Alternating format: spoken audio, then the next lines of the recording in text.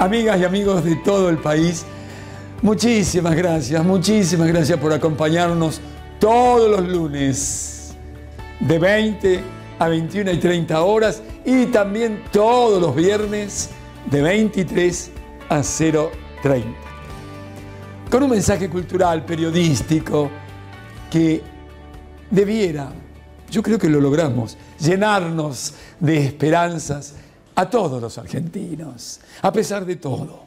Vamos a salir, vamos a crecer y vamos a intentar lograr ser felices. ¿No les parece?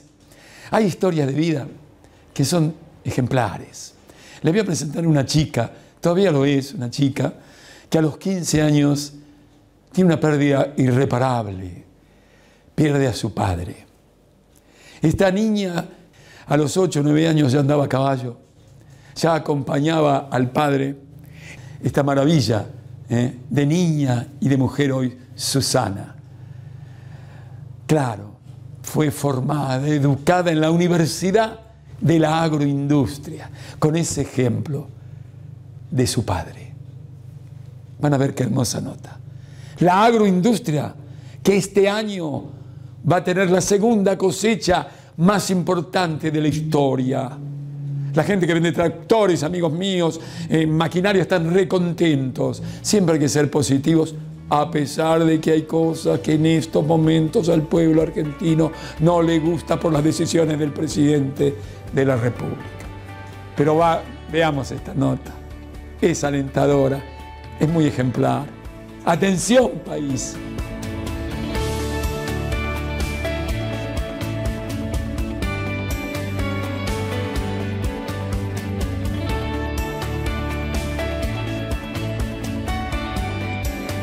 Muchísimas gracias Susana por prestarte a esta charlita, a este diálogo, como te dije, fuera de cámaras, joven empresaria de la agroindustria, que por lo que he leído poquito, sos un ejemplo por seguir.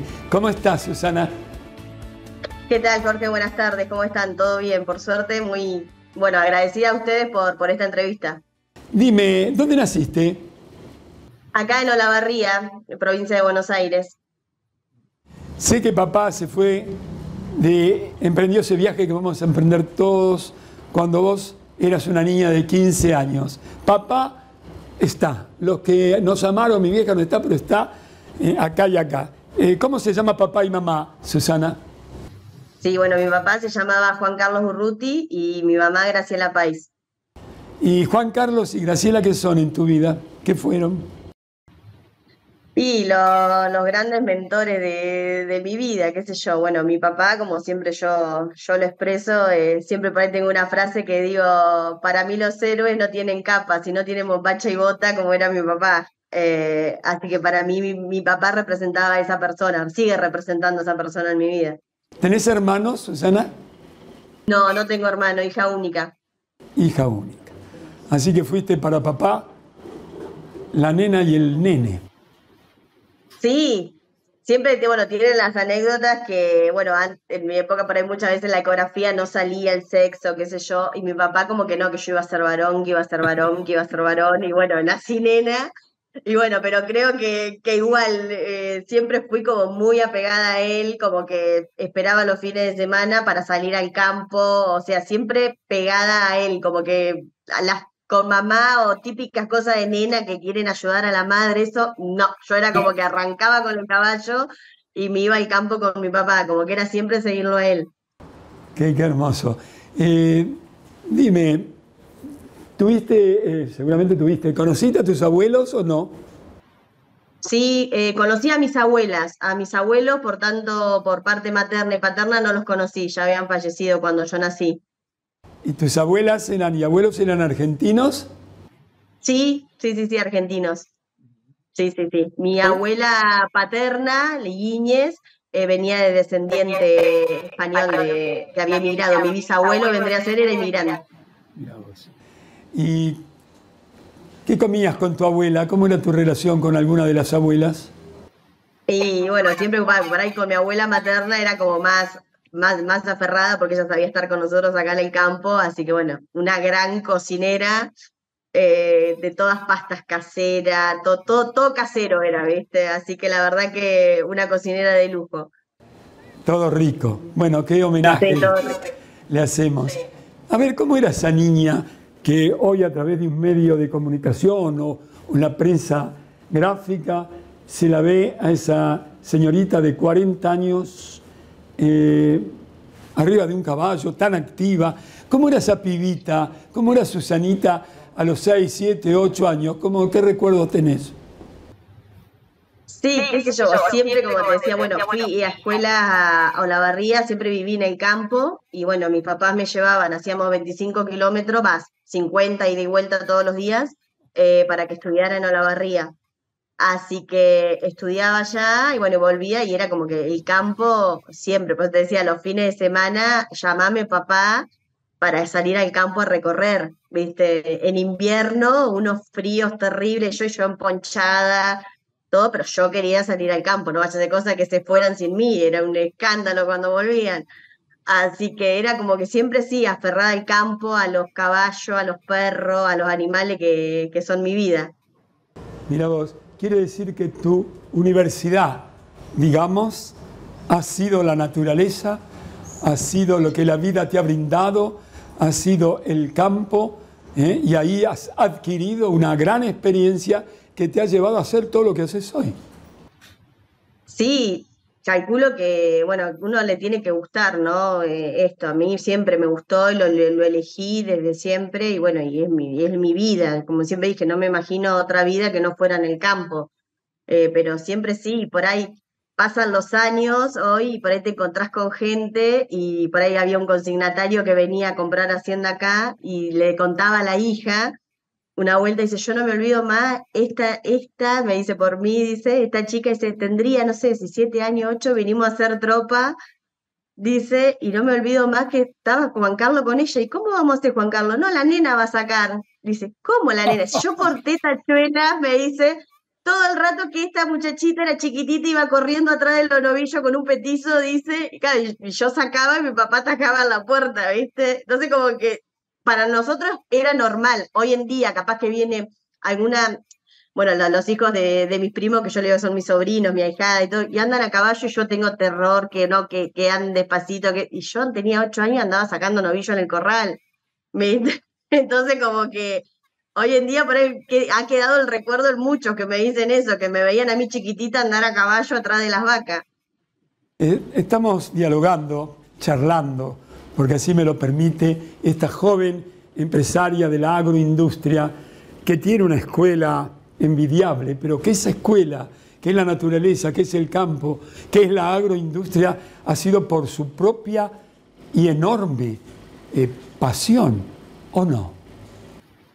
Sí, sí, sí, sí. También es lo, como me crié, yo me, nací, me crié y he vivido toda mi vida acá en el campo, ¿no? Y como que me crié y mamé de chiquita todo esto. Entonces, como que vengo de, una escuela, vengo de una familia más que nada ganadera, que desde mi, abuelo y todo fuimos como en sucesión, digamos así, y es como que vivís mamando todo eso, te crías con eso. ¿Y cómo es la actividad? ¿Cómo ha sido ya un poquito más esa chica de 20 años? ¿Cómo ha sido, cómo consideras que ha sido recibida por tus pares en la localidad o en el país? O en, ¿cómo, ¿Cómo ha sido? ¿Muy difícil? No, la verdad que muchas veces por ahí me preguntan eso, ¿no? Más, siempre me han preguntado si alguna vez por ser mujer tuviste diferencia o algo de eso. Yo la verdad que nunca lo sentía eso. Por ahí era, por ahí conocida, como le digo siempre, por andar siempre con mi papá. Entonces como que siempre era la hija de Juan Carlos en todos lados. Y como que siempre a mí me trataron de igual igual, como una par más. Eh, acá, eh, afuera por ahí muchas veces, o mandábamos una tropa al mercado, cuando era el mercado viejo de Linier, ¿no? Y esta tropa la hizo una chica de 16 años, por ahí decían, y te mandaban las felicitaciones por cómo estaba hecha la tropa, qué sé yo, como que la verdad realmente siempre tuve reconocimientos, nunca dije, no, a ella no le vamos a dar bolilla por ser mujer, o no, no, al contrario, a mí siempre me trataron de igual igual. Dime, Susana, siendo una empresaria de la agroindustria, y sorprendentemente, porque entrevisté hay muchas mujeres empresarias, tienes una gran riqueza de vocabulario, una expresión firme, precisa y clara, y de alguien que tiene tanto conocimientos te ofrecieron ¿Te interesó? Eh, ¿Crees que en algún momento podés llegar a ser alguna dirigente empresaria? Eh, no, bueno, estuve de delegada de la zona 2 de la Sociedad Rural Argentina, que me, invitaron a ser parte de esa delegación Mercedes Galor y Adela Bancalari, que también son mujeres, bueno, Mercedes fue presidenta de la Sociedad Rural de Villegas, Adela también, y así que el único cargo que más o menos he tomado, pero, pero nada, no, no es nada formal ni nada, pero no, la verdad que no, no, no. Y por ahí como que sé que una dirigencia, algo lleva tiempo y eso, y por ahí como que uno para tomar cierta responsabilidad, tiene que tener tiempo, predisposición, todo, y por ahí uno no iba a poder, entonces como que nunca he, aceptado nada de eso. Muy bien. Bueno, mi tía Norma fue presidenta de la Sociedad Rural de acá de Olavarría. Ah, la, primera, la primera y la única dirigente de la Sociedad Rural de Olavarría. Bueno, mira vos, por algo te pregunté eso. Tía Norma, eh, ¿hermana de quién? De mi papá, Juan Carlos, la única tía. Sí. ¿Vive tu tía Norma? Sí, sí, sí. ¿Y cómo es tu relación con ella? no, no, bien, re bien. Es mi, es mi madrina aparte también. Claro. Así que no, no, re bien. Y fue una de las mujeres, para mí yo la tomo cuando me preguntaron como una de las referentes de dirigencia rural, porque aparte estuvo a cargo de la sociedad rural en el 2008 cuando las papas quemaban así que había que estar a cargo de una dirigencia rural, así que y se mantuvo firme y la verdad que estuvo más que a la altura. Quiere decir que, claro, esa, sos como una hija para esa tía. Sí. ¿Qué le dirías vos a los jóvenes o no tan jóvenes empresarios de la agroindustria, de la ganadería? ¿Qué, qué le dirías de esto que tu vida, aunque no te guste, sos un ejemplo por seguir. ¿Cómo se logra? Pasión, perseverancia, constancia, trabajo, confianza. A ver, corregime o agrega cosas. No, sí, yo creo que lo primero por ahí es la, la pasión por lo que uno tiene, el amor propio, no por, por la tierra de uno, por, por luchar por lo que uno trabajó toda la familia de uno y seguir luchando por eso, ¿no? Eso más que nada, como, es, como que es un legado que, que yo tengo y que lo voy a seguir llevando adelante lo más que pueda y siempre voy a, voy a dejar todo por, por seguir llevándolo adelante. Pero creo que más que nada sí, por ahí perseverancia, no son fáciles, porque en el campo por ahí muchas veces, bueno, el tema climático es algo que lo que más nos complica a todo el mundo. Hay veces que realmente da, decís, da ganas de tirar la toalla porque venís mal o algo de eso, pero bueno, después hay que seguir adelante y, seguir. Nosotros, a mí me pasó, que fue lo que más me marcó en el año 2001, hacía poquito que, que yo había agarrado el mando, digamos, y bueno, tenemos el otro campo de espiga, la zona de espiga, pasa el arroyo La Flor atrás, y es una zona muy complicada. Son campos bajos, que bueno, que a veces en esta época es mejor que estén encharcados, pero bueno, en el, pasamos inviernos mal, tapados de agua, y bueno, en un momento dábamos fardo en aquel entonces y no teníamos piso ni para entrar con tractores ni con caballos de tiro, así que la única forma de salvar las vacas ese año fue dando fardo con una chapa cincha de caballos. Llevábamos de a cinco fardo en una chapa y cinchando con una cincha de caballo. Entonces, en ese momento sí, realmente cuando me pasó eso, entre que vení golpeada por lo que te había pasado, ¿no? Por lo de mi papá, todo, decir, ¿qué hago? Porque uno llegaba y era desolador el panorama. Vacas que se te morían porque también nos había agarrado la famosa fasciola hepática que para nosotros era nueva en la zona, que el Zaguaypé. Eh, bueno, se morían animales, el campo lleno de agua. Realmente, sí, yo llegaba ahí, sí, hasta acá llegué, porque como que me desbordaba. Y por ahí soy creyente entonces me aferraba a la Virgencita de Luján y le pedía le pedía a mi viejo de allá arriba que me dé una mano, que a ver cómo, y bueno, y salimos adelante. Entonces por ahí hoy con más experiencia, ¿no? Todo decís, bueno, si pasé esa, tengo que seguir pasando otras cosas, porque ese realmente ese año fue dramático, complicado. Sos una mujer joven, hiperactiva, y yo supongo que hay que tener que tener un sostén. Y bueno, e, el amor de tu vida hoy acompañándote, incluso ayudándote para que podamos hacer esta nota, a quien le agradezco mucho ¿Y cómo se llama entonces este amor de tu vida que debe ser tan fuerte como vos en el laburo? Sí, sí, bueno, se llama Claudio Rodríguez, eh, sí, que me acompaña, bueno, compartimos las mismas cosas, nos gustan las mismas cosas, así que bueno, él también siempre que puede me da, me da una mano en todo lo que yo necesito, él también siempre me está, me está ayudando, pero también como compartimos, como que somos del mismo palo, entonces como que nos gustan las mismas cosas, la pasión por los caballos, viste, todo eso, entonces como que se te hace más fácil también por ahí la relación. Claro. ¿Cuál es tu visión de lo que acontece con la agroindustria hoy? ¿Qué es lo que haces en materia de ganadería, en materia de agricultura? ¿Qué estás haciendo? Te digo que detrás vamos a ir con un guion, con una locutora, con un documental donde se va a explicar aquellas cosas, algunas cosas que eh, Susana tal vez no has dicho. Si se me escapa Susi, porque tengo una amiga eh, de la familia, Susana, y a veces te puedo decir, Susi, te pido disculpas. Te pido disculpas. Bueno, contame un poquito, ¿eh? contale a la audiencia. Sí, nosotros acá de la ganadería hacemos todo el ciclo hacemos la cría, la recría, el engorde y de, esa recría dejamos para reposición eh, madres para nosotros también. Por ahí vamos invirtiendo un poco en genética en toros eh, para ir cambiando sangre, ¿no? Y tratando de mejorar y eso. Aparte, como que me gusta tener una buena calidad, siempre, siempre mantuvimos una línea de, de una madre que teníamos ya en base de mi papá y eso. Entonces, que sea blanda de engorde, ¿viste? Y que sean unas buenas madres también para cría, porque después van al otro campo de espías, que es campo más salado, todo, entonces como que las vacas este, que estén bien y eso.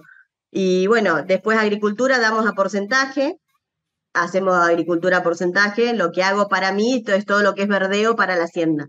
Avena, sorgo, moa, nos preparamos para arroyos y eso, pero después el resto de lo que sea maíz, soja, trigo, cebada y eso, lo damos a porcentaje. Siendo tan trabajadora y tan joven, dime, ¿qué proyectos tienes? No, yo creo como siempre decíamos, tratar de, siempre digo, tratar de mantener lo que mi papá me dejó, que eso es primordial para mí. Y bueno, no, después, bueno, lo que crecimos como cabaña, y eso que me escribí como cabaña de, en caballos criollos, creadora de caballos criollos pero después siempre ir tratando de manteniendo el capital de uno, como que grandes ambiciones, la verdad que no, yo mantener lo que, lo que mi papá me dejó y eso para mí, ya para mí con eso es, es suficiente. Fuimos creciendo un poco más en madres y eso sí, gracias a Dios y eso, pero no, no es que me, me desespera crecer mucho más, yo creo que manteniendo lo de uno yo ya estaría bien. Así es. Y bueno, y más con los vaivenes de la economía de nuestro país, que Juan Carlos no ha, no ha desconocido y que ha sido también tu experiencia. Muy bien, muy bien. Bueno, eh, yo te agradezco de todo corazón que me, me hayas permitido que te haga este tipo de preguntas que son, no tengo duda, distintas. Pero bueno, por ahora te saludo con el corazón y con la mente. Espero conocerte en alguna oportunidad, si Dios así lo permite, a vos, a tu pareja eh, que sepa eh, disculpar si dije algo que, que, no le pareció bien. Y quiero, ¿te quedó algo por decir? Dilo. Y si no, vamos directamente con el documental. No, no, no, desde ya, muchísimas gracias a ustedes. Bueno, sería un placer después conocerlos personalmente cuando gusten. Las, las tranqueras están abiertas o estamos acá en el campo. Así que cuando gusten, más que, más que bienvenidos, nos avisan y los esperamos. Eso sería un placer. Bueno, muchas gracias. Amigas y amigos de toda la República Argentina, les presento una joven de la agroindustria sorprendente que tuvo la universidad que le fue dada por sus padres, por Juan Carlos, ese señor que esperaba un varoncito y tuvo esta niña eh, que sorprendió a él, se partió cuando tenía 15 años, esta joven de la agroindustria argentina, sin embargo ella se hizo cargo de todo y es un ejemplo en todo el sentido de la palabra por seguir. Presten mucha atención este documental que les vamos a presentar inmediatamente. Atención país. En la Argentina, el sector agropecuario involucra actividades de fuertes lazos familiares. Los Urruti están vinculados a la producción desde hace décadas. Como parte de esa historia, Juan Carlos Urruti puso en marcha un emprendimiento. En 1998 falleció repentinamente y su hija Susana, de apenas 15 años, debió hacerse cargo del proyecto. 25 años después, Susana continúa su labor con la inmensa pasión que comparte y profesa toda la familia. En la actualidad, los Urruti disponen de dos campos en la provincia de Buenos Aires, Don Héctor en la localidad de Olavarría y San Agustín, ubicado en Espigas. En total, la empresa familiar trabaja unas 1.500 hectáreas entre propias y alquiladas. En ellas practica la agricultura y ganadería de ciclo completo. Realiza la cría, recría y engorde de la raza Aberdeen Angus. Tiene en producción unas 520 madres y cuenta con 400 animales en su rodeo. Como política productiva, destina a las terneras para madres e invierte en genética para mejorar la calidad. Comercializa sus animales con un peso que varía entre los 360 y los 420 kilos. Con el proceso finalizado, la mayor parte de su hacienda es vendida al mercado agroganadero de Cañuelas. En términos agrícolas, cultivan soja, girasol, trigo, cebada y maíz a porcentaje junto a un socio. En 2023, a pesar de la sequía, logró buenos rindes, 3.500 kilos de soja y 8.500 de maíz, que es consumido en grano para el engorde de la hacienda. Además, la familia Urruti produce avena, verdeo y sorgo, que también destina a la alimentación de los animales, y cultiva moa para confeccionar rollos.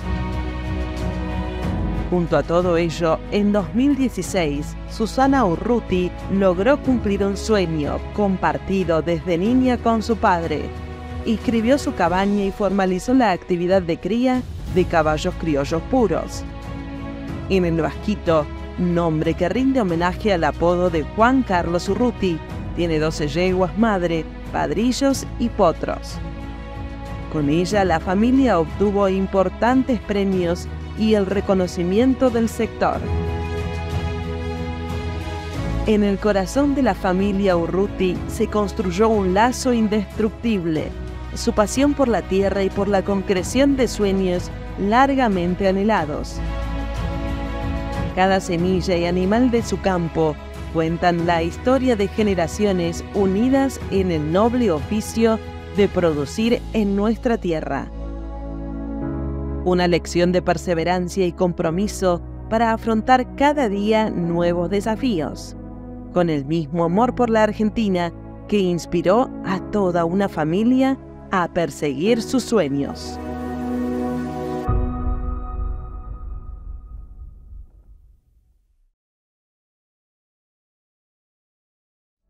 Fincas Abuelo Nito, un grupo bodeguero familiar de Guche, en San Rafael, Mendoza, que producen diferentes cepas de vinos con elevados estándares de calidad, respaldados por meticulosos controles exhaustivos y acompañados por la pasión y el amor que las vides inspiran. Junto al Quebracho, una empresa que ofrece todo tipo de materiales e insumos rurales y para la construcción, brindando a sus clientes de Olavarría y zonas de influencia, todo en un solo lugar. Fincas Abuelo Nito y El Quebracho saludan a Susana Urruti por su tesón, esfuerzo y confianza de seguir apostando al país. Nos une la historia, el presente y el futuro. ACA, Asociación de Cooperativas Argentinas. Creer en lo que nos une. Biofarma, una verdadera organización al servicio de la nutrición animal.